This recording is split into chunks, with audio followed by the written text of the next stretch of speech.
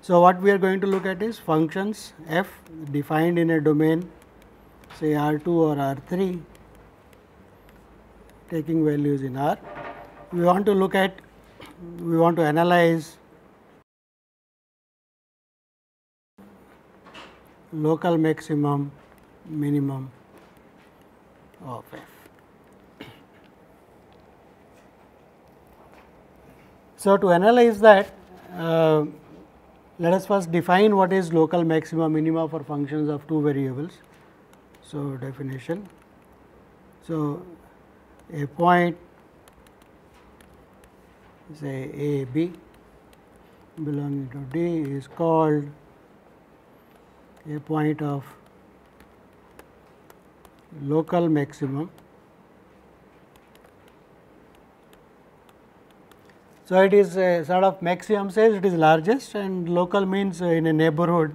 So, if there exists some delta bigger than 0 such that the value of f at a b is bigger than or equal to value of f at x y for every point x and y in a neighborhood. So, let us write a ball around the point a b of radius delta. So, that is uh, local maximum and you can define similarly local minimum uh, if it is inequality is less than or equal to. So, local minimum at A B if all that as above f of A B should be less than or equal to f of x y for every x y in that neighborhood.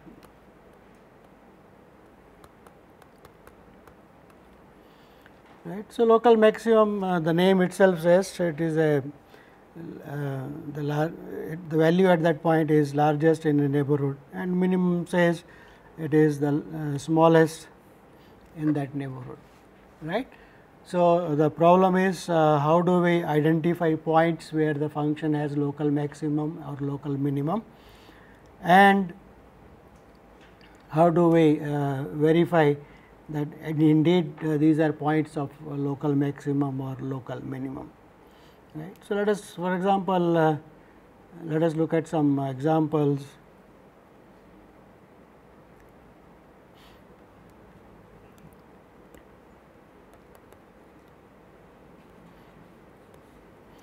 Uh, the simplest would be for example, let us look at f of x y is equal to x square plus y square for every x y.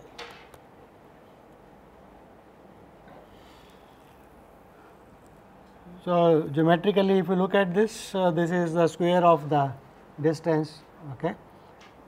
So, um, f at say 0 0 the value is 0 and uh, for every other point f of x y is bigger than or equal to 0 for every x y other than uh, of course equal to the is strictly bigger than 0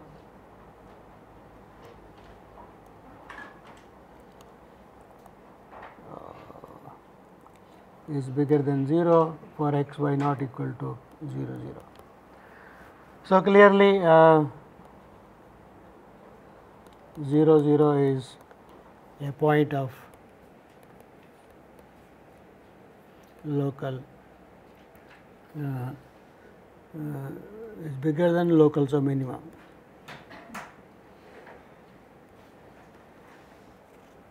Can you visualize this geometrically? Right.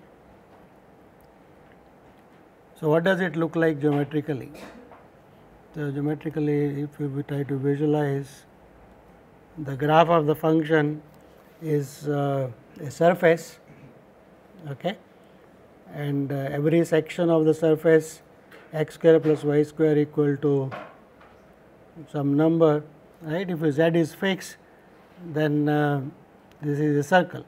So, it is going to be right kind of. So that is the surface looks like right? So that is uh, and obviously it has a minimum at the point 0 0 geometrically also right? So here we are just looking analytically that uh, this is a minimum right? For example if you change f x y equal to minus of uh, x square plus y square for every x y then it is just inverting this uh, surface. So, 0 0 is a point of local maximum. At every point the value is less than or equal to 0 and 0 the value is 0. So, that is a point of local minimum right. So, f x y is less than 0 which is equal to f of 0 0 for every x y. Right, but that is not good enough uh, for us. Uh, these kind of examples we would like to find out like in, like in one variable we said uh, if you want to find points of local maximum minimum uh, we have got a condition that the derivative at that point must be equal to 0. So, that gave us that necessary condition gave us uh, a collection of points where possibly the function can have local maxima or minima right those were the critical points. So, something similar can be done here for example, let us look at uh, the following. So, let us write as a theorem. So, let f x y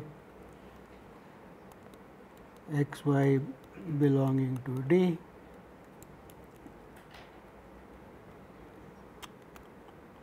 have a local maximum or minimum at a point a b. So, suppose a function has we want to find a we want to find a, a necessary condition like function of one variable. So, let us uh, put this back on uh, put this back on uh, one variable. So, then the partial derivative at uh, the point a b with respect to x should be 0 and should also be equal to partial derivative with respect to y at the point uh, a b if both f x f y exists.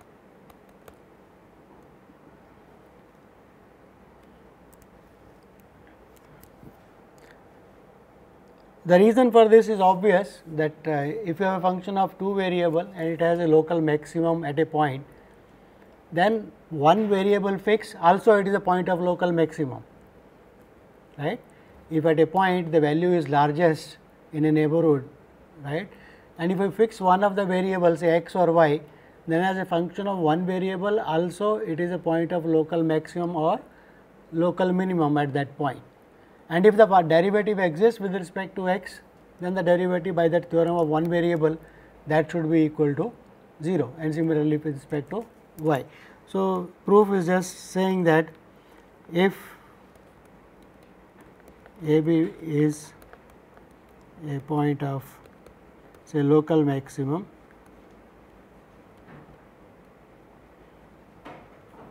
or minimum, then let us consider the function say x going to f of x, x going to uh, varying x. So, x comma b right also has local maximum minimum at x is equal to a.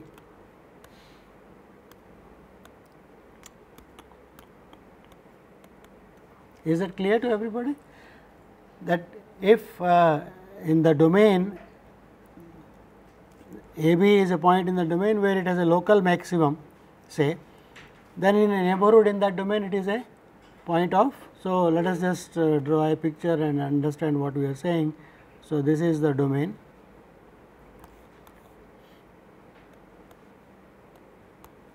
And this is the domain D. And this is the point A B where the function has uh, so f of A B uh, is local maximum. So, is bigger than or equal to f of x y for every x y in a uh, neighborhood. So, let us uh, draw a neighborhood. So, this is a neighborhood. So, in a neighborhood of radius delta for every x y belonging to ball at a b of radius delta right. Now, if I fix if I fix the uh, y equal to b and let x vary. So, y equal to b is fixed and x is varying. So, you are moving along this right. So, in this part of you are moving along these values right. So, in that part we will have f of a b is still bigger than or equal to f of x b for every x b belonging to that ball right. So, as a function of one variable it has a local maximum right okay, at that point. So, f of a b as a function of variable x is bigger than or equal to um, the value at the point x b in that neighborhood. So, since f x a b exists f of x a b should be equal to 0 right. So, as a function of one variable it has a local maximum the derivative exists. So, that the derivative must be equal to 0 and similarly f of y a b should be equal to 0. So, that is uh, just a um, conclusion we are putting back uh, so, this is a necessary condition. So, this gives a necessary condition. So, um, let us define the points. So, definition a point x y belonging to D is called a critical point for the function f if like in one variable what are the possibilities either of the partial derivatives or both the partial derivatives do not exist right. So, one f x f y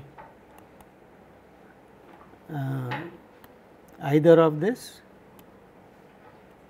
let us write either or both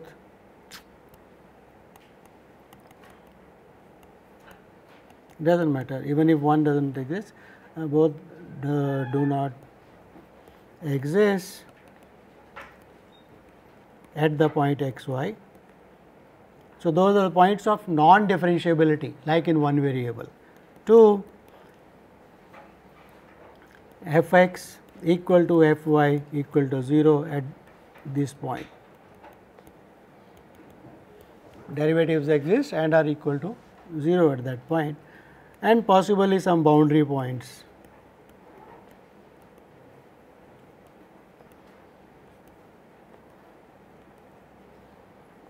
boundary points. So, these uh, critical points are the possible points where the function can have local maxima or minima as a function of two variables right and then again we will have to find sufficient conditions to check whether these are points of local maxima or local minima. So, let us look at uh, some examples to understand this a bit more. So, we have already seen that uh, example of uh, uh, x square y square. So, let us look at some other example. So, let us look at uh, example of f x y, a simple one x cube plus y 4, x y belonging to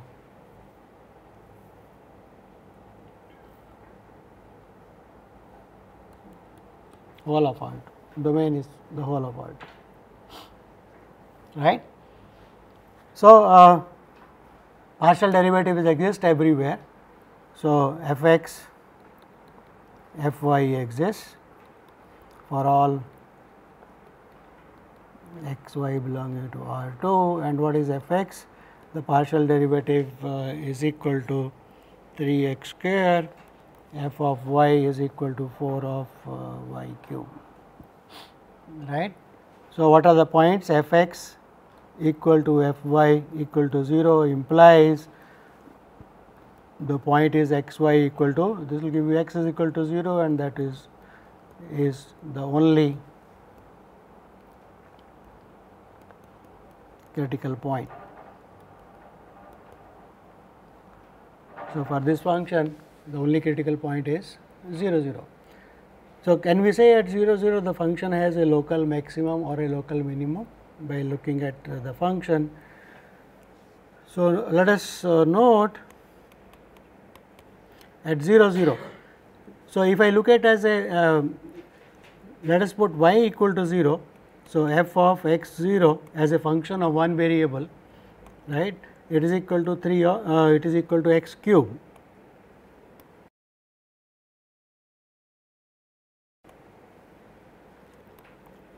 it is equal to x cube right.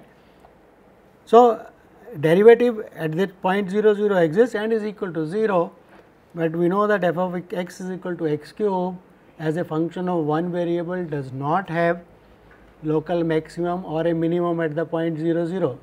On the left side of x negative x negative its value is negative on the positive side value is positive at the value at 0 is 0. So, that implies that f does not have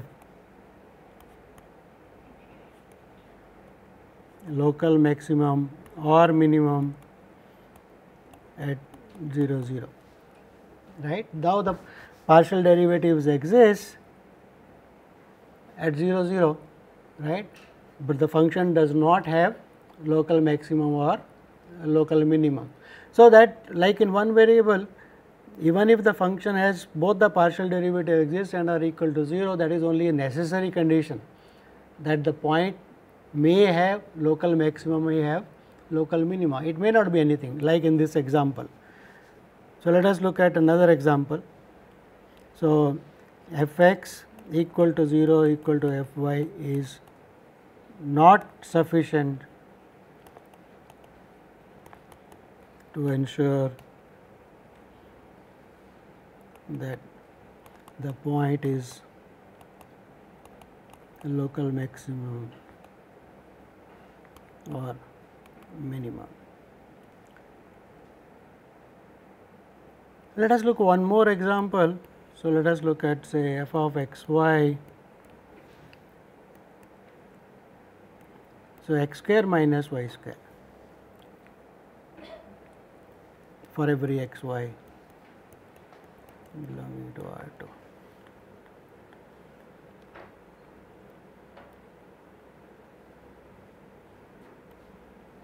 Right. So, what is partial derivative f x? That is 2 x, f y is equal to 2 y. So, 0 0 is again is the only critical point.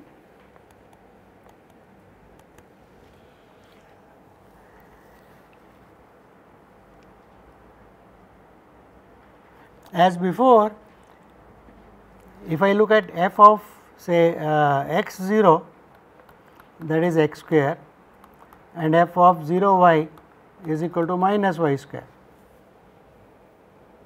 right. So, as a function of the variable x y fixed as 0 it is x square right which has a minimum at the point 0 right as a function of one variable and uh, f of 0 y has a maximum local maximum actually a global maximum at the point 0 right. So, I cannot say for the two variables the function has a local maximum or local minimum, but something more interesting is happening that whichever neighborhood of 0 I take there is a point where the value of the function is less than the value of the function at that point and there is another point where the value is bigger than the value at that point right. For example, if I look at 0 0 for x very small right. So, x comma 0 will be a point where the value of the function is positive which is bigger than the value at 0 0 that is 0. So, and similarly for uh, if I fix x is equal to 0 the value is negative I can make it as close to 0 as I want. So, whichever neighborhood of 0 0 I take. So, in the picture you can think it as in this in this picture for whichever neighborhood I take there is a point there is a point say p uh, um, and there is a point uh, q uh, the point p is actually in this one there is a point p here and there is a point q here okay very close whichever uh, you want so here is a point p here is a point q right. The value at this point is positive, the value at the point q is negative. Whichever neighborhood you choose, you can always find points close to 0 0 right with these properties. So, uh, the conclusion is there exists points p and uh, q belonging to every neighborhood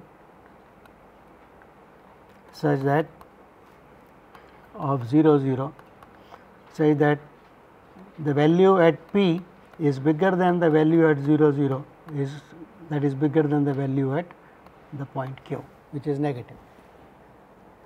So, is it clear what we are saying?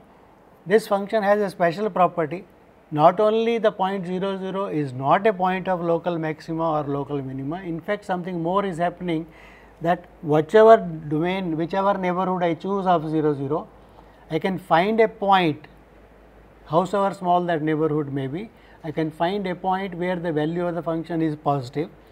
So, that is bigger than the value at 0 0 and some other point where the value is negative right.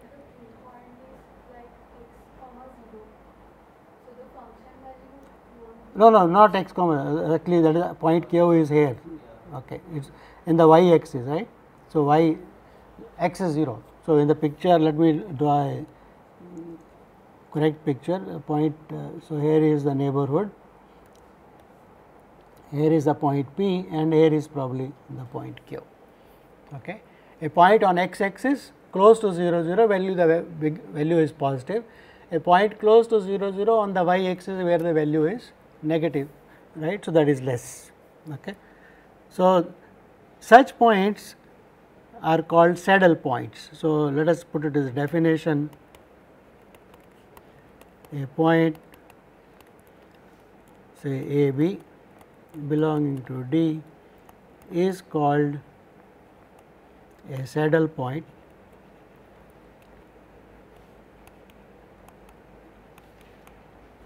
for f if for every delta bigger than 0 there exists P and Q belonging to ball at A B of radius delta such that the value of the function at the point P is bigger than or equal uh, not equal to we should say strictly bigger because otherwise every point will be is bigger than the value at the point A B is bigger than the value at the point Q. So, such points are called saddle points.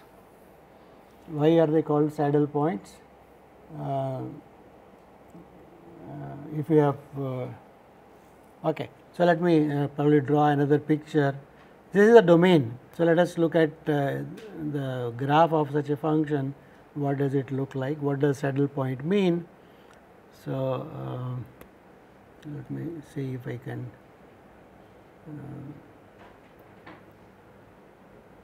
okay. Why it, I should not take it 0 0 so let us skip that. So let us uh, let me draw. Okay. Now let us draw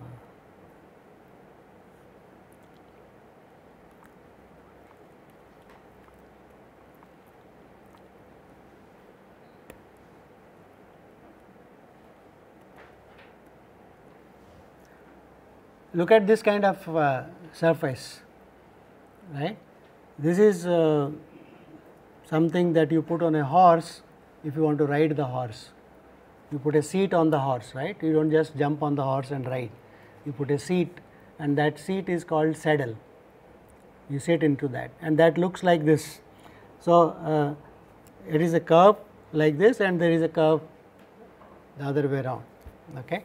So, if you look at uh, along along the curve, if you look at this red ones, right.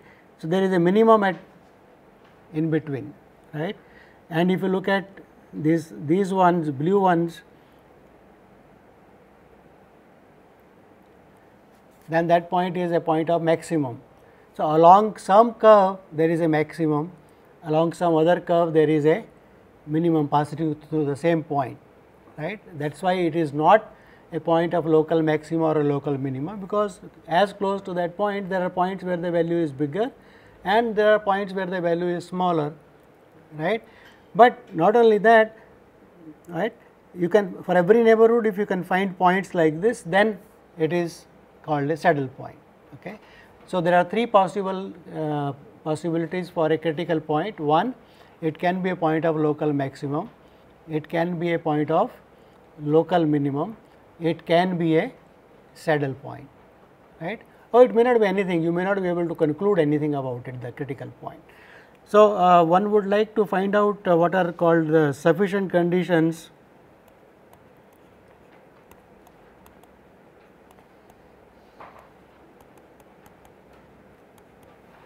for local maximum,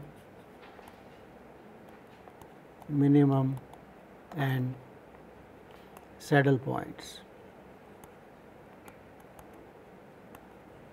So, what are we can find critical points by looking at uh, those collection of points namely where the derivatives exist and are equal to 0 and uh, looking at uh, points where the derivative do not either or either or, or both of the partial derivatives do not exist right. But out of this how do you find out which are the points of local maximum or local minimum like in functions of one variable we had various tests. We had a test of continuity test, we had first derivative test, then we had the second derivative test which were sufficient conditions to ensure that the function has a local maximum or a, a local minimum. So, for that we need to go to uh, second order derivatives for functions of two variables. So, let us uh, look at what are called second order derivatives.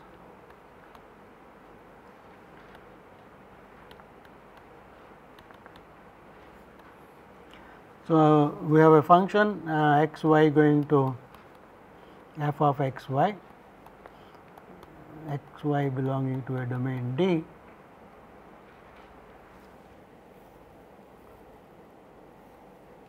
So, let us say that the partial derivatives exist. So, suppose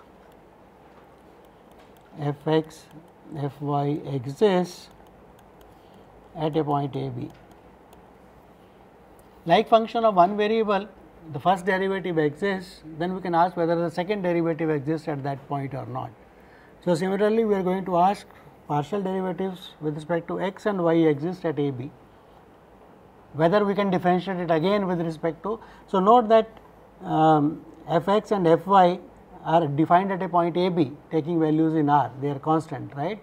So, if we want to talk about the second order derivative derivative of the partial derivatives then the functions f x and f y should be defined in a neighborhood first of all otherwise you cannot talk about the derivative right a b and in a neighborhood of a b. So, let us assume they both exist in a neighborhood of a b. That means, the partial derivatives are defined as functions right in a neighborhood. So, let us say a ball of radius delta at a b. They are functions right. Like for one variable if the derivative exists then the derivative is itself a function of a variable right at that point. So, now supposing f x exists in a neighborhood then it is a function of two variables. So, we can ask whether f x x exists and f x y exists because it is a function of two variables. So, it can you can ask whether it has partial derivative with respect to x and with respect to y both you can ask for both right. So, they may exist they may not exist. So, these are called so f x f x y and similarly f y y and f y x if exists are called second order partial derivatives.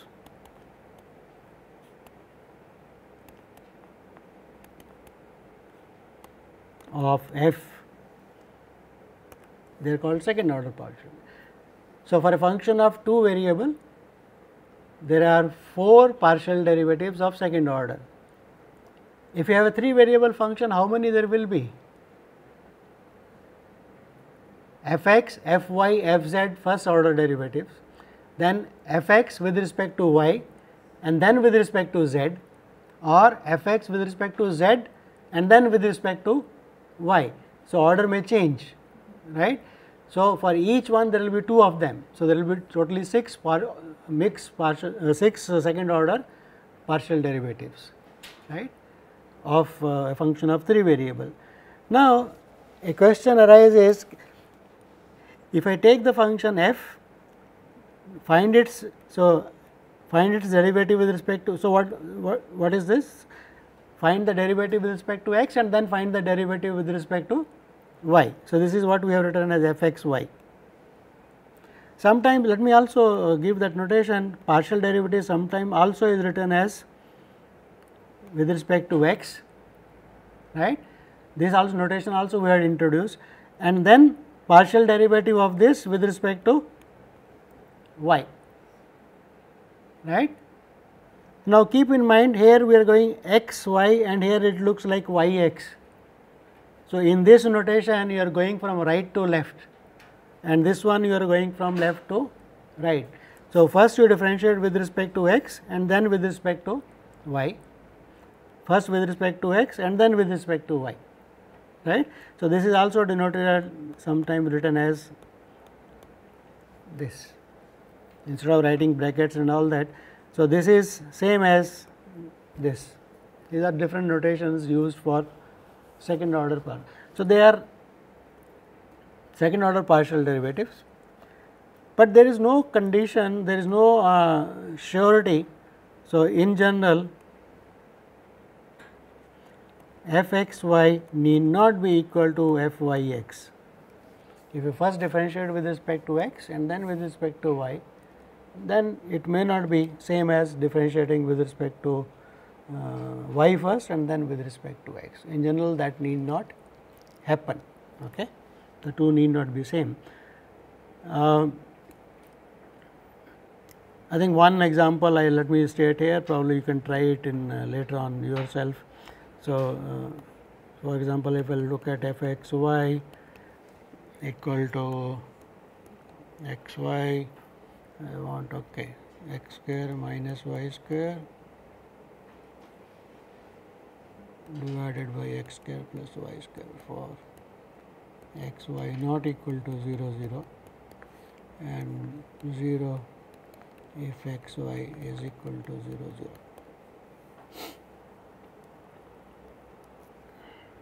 right.